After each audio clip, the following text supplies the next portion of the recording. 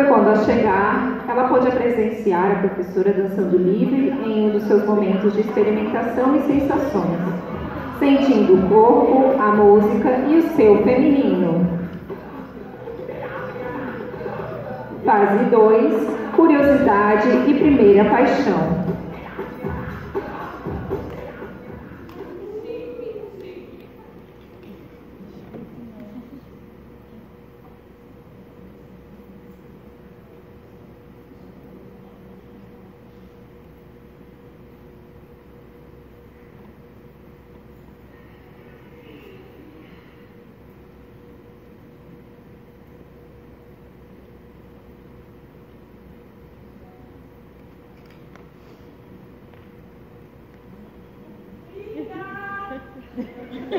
Always good.